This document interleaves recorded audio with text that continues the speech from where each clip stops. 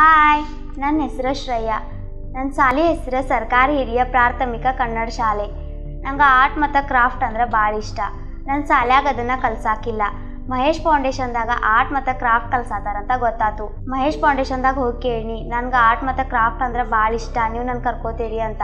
ಆವಾಗ ಅವ್ರು ಹೇಳ್ರು, ಯಾರು ಬೇಕಾದ್ ಬರ್ಬೋದು, ನೀನು ಕಲಿಯಲಿ ಅಂತ ಅಂದ್ರೆ ಅವಾಗ ನಾನು ಆರ್ಟ್ ಕ್ಲಾಸಿಗೆ ಸೇರ್ಕೊನಿ. ಅಲ್ಲಿನ ಟೀಚರ್ ಭಾಳ ಚಂದ ಕಲ್, ಕಲ್ಸಾಕತ್ರು. ಮತ್ತು ನನ್ನ ಫ್ರೆಂಡ್ಸು ನನ್ನ ಜೊತೆ ಬರಾಕತ್ರು. ಇಲ್ಲಿ ಅವಕಾಶ ಕೊಟ್ಟಿದ್ದಕ್ಕೆ ಮಹೇಶ್ ಫೌಂಡೇಶನ್ಗೆ ಥ್ಯಾಂಕ್ಸ್ ಹೇಳ್ತೀನಿ.